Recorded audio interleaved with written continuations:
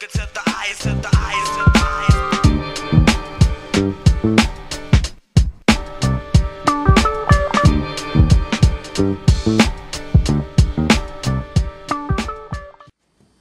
Going back to trig functions, when they say sine theta is opposite over hypotenuse, what you got to understand is theta is a neutral, um, neutral angle. So what you have to do is look at your drawing that you have and think about which angle you want to find out. Now with triangles, the things to keep in mind is the sum of the angles is equal to 180. So if this one's 30 degrees and this one's 90 degrees, 30 plus 90 is 120. You subtract that from an eight, uh, from 180. 120 minus 180 is 60. So automatically you know what this angle is. So for any triangle, if they give you two angles, you know what the third angle is because all you got to do is take 180 and subtract the other two angles. The other thing is, there's six pieces of info in a triangle. You got three angles and three sides. If you know any three of these, one of them has to include a side, you can solve the triangle, which means find out what all the other angles and what all the other sides are.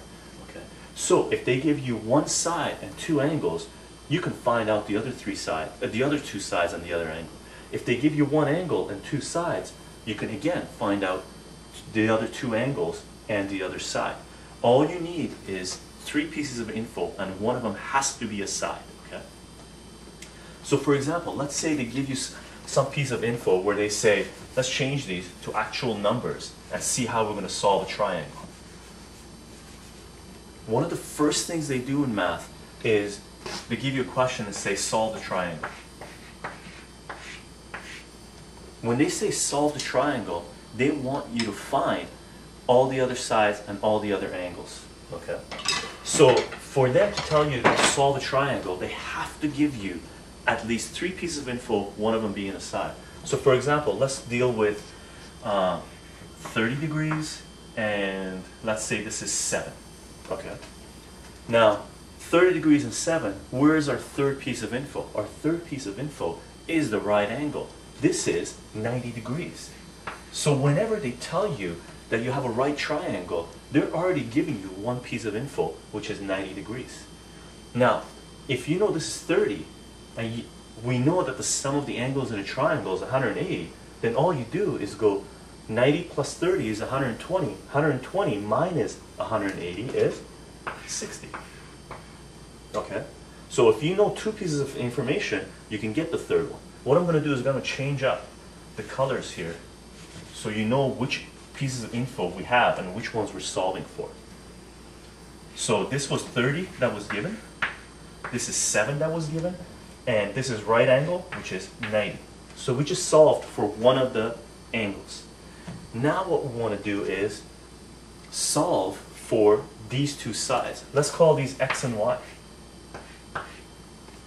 Okay? The way we're going to do this is we're going to have to decide which side we want to solve. So this is mentally you're going to have to make a choice. Do you want to solve for x or y? Well, let's decide that we're going to solve for y, okay? So we want to solve for y, then you got to decide which angle you're going to use. Are you going to use the 60 degree angle or are you going to use a 30 degree angle? It's up to you.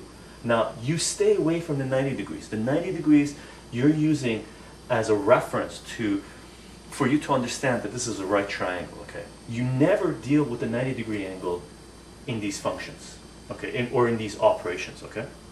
So, let's say we want to solve y and we're going to use angle 60.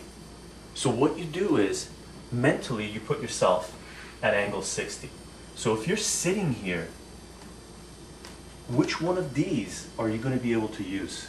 Now, 60 degree is going to be your theta. That's your general angle. You have the hypotenuse, so you take a look at these functions, and the only two that have the hypotenuse are sine and cosine. You can't use tangent because it's got opposite over adjacent. So you're going to use 60 degrees and this, the only side that they've given you, which is the hypotenuse. So we're either going to use this or this. Now, since we chose to use sine, uh, since we chose to use 60 degrees, that means y is adjacent to the 60 degree angle. Now, some people confuse themselves and say, oh, this is also adjacent to, to 60 degrees as well, but this is the hypotenuse, so all, so this doesn't count as being adjacent, this is always the hypotenuse. So the y becomes the adjacent. The x is opposite from 60. So if we're going to use 60 degrees, we're going to use the adjacent one. So we're going to use cos. So what we're going to do is say, okay, we're going to use this function, so we're going to go cos of 60 degrees is equal to, can you see this? I hope so. Cos of 60 degrees is equal to adjacent, which is y, over hypotenuse, which is 7. Okay?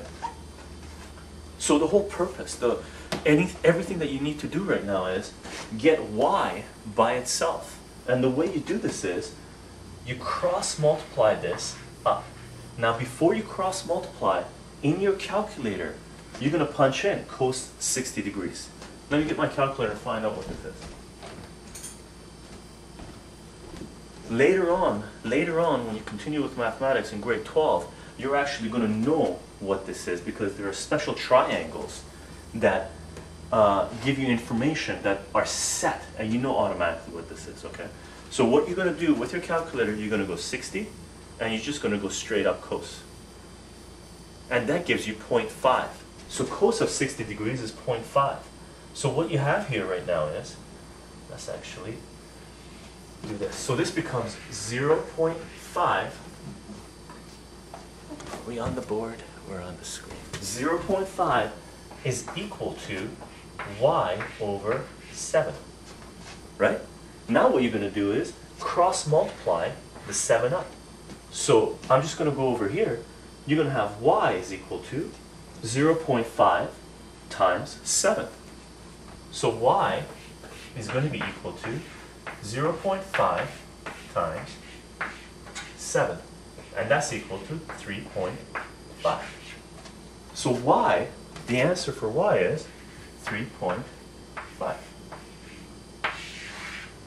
Okay? Now we need to find x. How are we going to find x? Well, I'm going to erase some of this stuff, okay?